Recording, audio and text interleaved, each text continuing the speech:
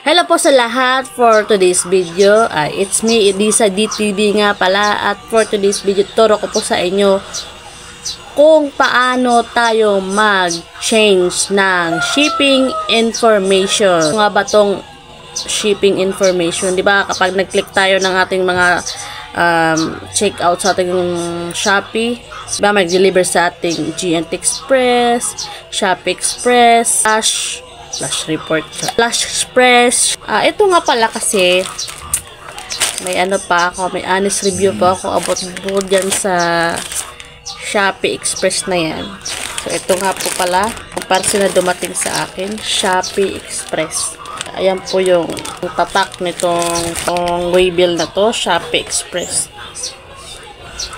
Actually, dumating pa po to nung mga, ito lang week na to, Monday ata yun. Tapos, puntahan ko doon, sabi ko, bakit hindi pa dinideliver? Kasi nga, nung naka-assign daw, parang nag-travel pa. Hindi ata alam kung saan, saan ihahatid yung parcel na dala niya. Nangyari, sa una po, yung parcel ko, nandito na daw sa Alin.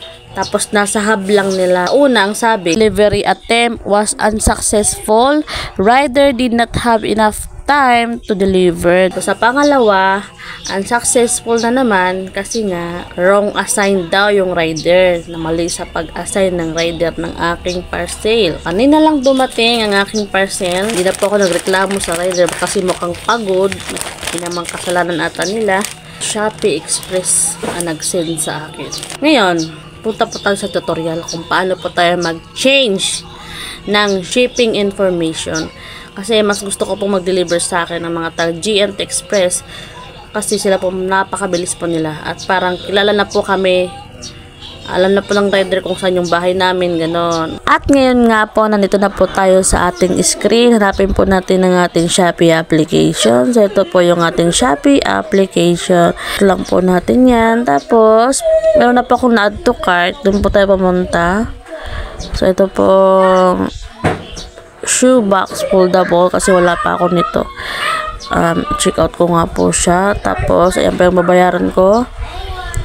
So, for example, kukunin ko po siya ng installment. So, yung babayaran ko po every month is 82 pesos. Installment tayo. Try natin. 215.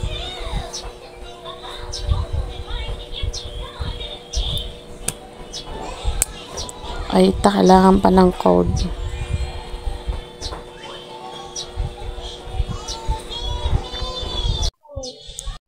enter ko lang po ang aking um, pin. Ayan, syempre. Protektado tong spay later. Ayan, check po natin ang ating my purchase. Click po natin tong to ship. Remember po, makakapag-change lang kayo ng shipping information kapag nakakita na kayo ng ganito na word to ship. Dito, click nyo lang po yung change tapos, ay, dito naman kapag yung check ay nasa SP Express, pwede nyo ilipat sa GNT Express. Ito, okay na ito, automatic na naka GNT Express. Di naman sa sinasabi kong huwag nyo piliin ang SP Express kasi based on my experience, mas fit pa din namin ang GNT baka lang kasi nag-adjust pa ang SP Express kaya matagal mag-deliver. Ganun. Ano lang po kadali.